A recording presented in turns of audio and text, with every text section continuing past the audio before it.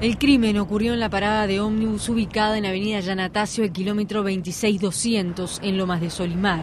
Un policía de 52 años que cumplía servicios en la seccional 28 de Colonia Nicolich acudió hasta allí con su vehículo particular, del cual se bajó y disparó varias veces contra su pareja que estaba allí junto a su hijo de 17 años.